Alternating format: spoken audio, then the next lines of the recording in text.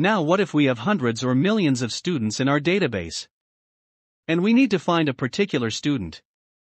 Scrolling down from a list may not be the best option.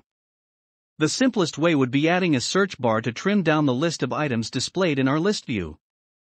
The Xamarin Forms search bar is a user input control used to initiating a search. Good day everyone. I'm Michael, and I'm using a text-to-speech program to have a more clear speech in audio. In this video lesson, you will learn how to search specific values from our list view using the search bar. Now let's open the Visual Studio and do some coding. Let's take our student info list into the next level.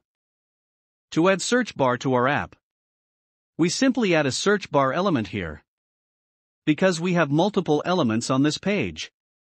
We need to wrap them in a stack layout.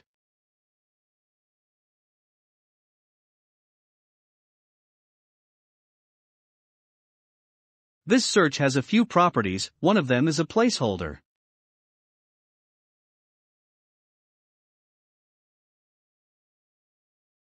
This is the text that is displayed when the search bar is empty.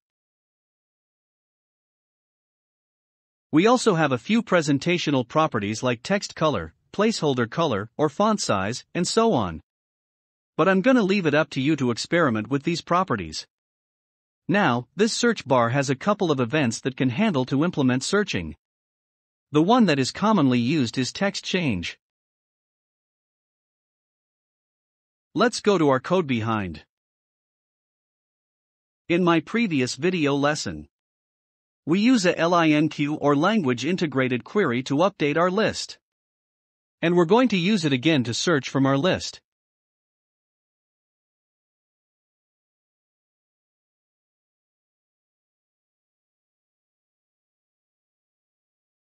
The start with method returns a list of data that starts with the character or characters we provide to it. Since the search is dynamic, we're not going to pass a fixed value to it.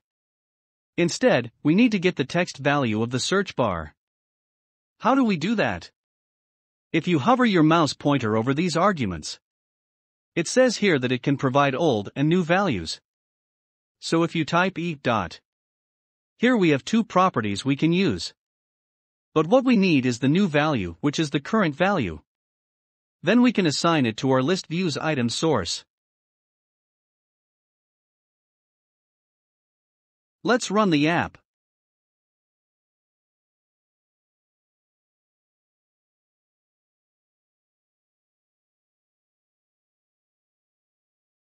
Now that's how we search from our list view element. One more thing you need to know here is that in this example, we're hard coding the list of student info here. But in real world applications, that's rarely the case. Instead, our data are either stored in a local database or in a remote service like the cloud.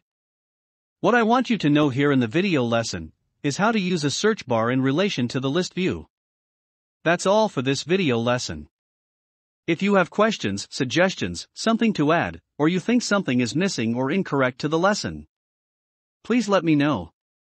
Again, this is Michael, thank you and see you at my next video lesson. Keep safe everyone.